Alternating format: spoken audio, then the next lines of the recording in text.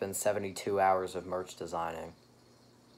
I'm starting to get a little bit bored, but trust me, this is going to be the greatest merchandise you've ever seen in your life once this drops.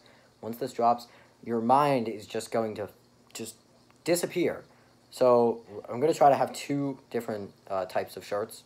Not going to leak anything, but one you may already know. All right, it's a it, you'll see. All right, you'll you'll see it, and if you don't know what it is,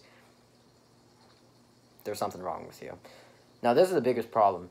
I can't guarantee anyone's even gonna, you know, purchase uh, any of this stuff. So what if I'm just doing this for no reason at all? So yeah, that's that's the spookiest thing ever. All right, really hope at least one person cops this merch. It's gonna be so good. All right, not even joking around. Like I see now, I I respect people a lot more, uh, people that design merch because it's incredibly hard.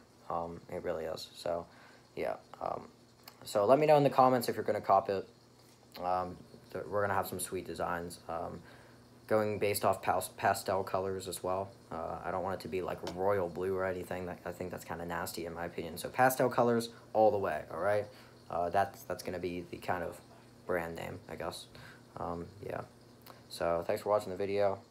Uh, I'll let you know when it's been 300 hours of merch designing, and then maybe our life will really be over. Alright, thanks for watching, I'm out.